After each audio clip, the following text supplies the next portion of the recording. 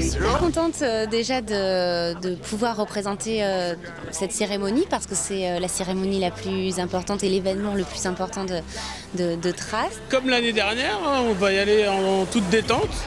Et euh, cette année, c'est avec Clara, on va voir euh, ce que ça va donner. Euh, là, on commence à apprendre à se connaître, donc euh, voilà, on va voir. Moi j'étais à la première de l'année dernière. Le truc que j'ai particulièrement apprécié, c'est le fait qu'il y ait des artistes de maintenant qui reprennent des classiques euh, du rap, parce que c'est vrai que c'est une musique dont le jeune public a tendance à oublier qu'elle a une histoire euh, qui a plus de 20 ans pour ce qui est du rap français. On va, on va essayer de faire encore mieux. On travaille pour, pour amener encore un show de meilleure qualité, encore de, de belles collaborations et d'amener un, un beau spectacle télévisé. On l'a vu justement l'année dernière, c'est c'est super bien de savoir qu'il bah, y, a- y a un petit, un petit clin d'œil au passé, euh, ou à des artistes qui ont simplement fait des morceaux il y a un moment. Et puis je trouve que c'est bien quand même qu'il y ait de l'histoire dans la musique, parce que si on parle à un fan de rock, même s'il a 15 ans, il sait qui sont les Stones, il sait qui sont les Beatles, il sait qui sont Led Zeppelin, alors qu'un fan de rap de 15 ans va pas forcément savoir qui est MC Solar, qui est Ministère Amer, qui est NTM. C'est dommage. Évidemment, je suis marseillaise, j'ai grandi avec Ayam euh, et puis euh, j'ai découvert euh, comme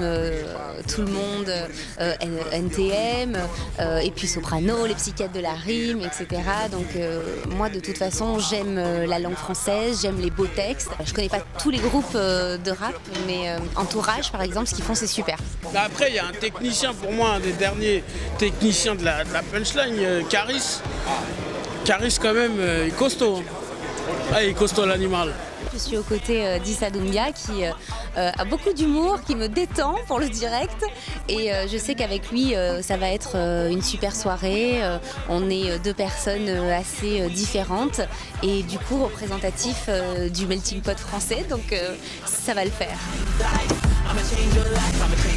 I'ma change your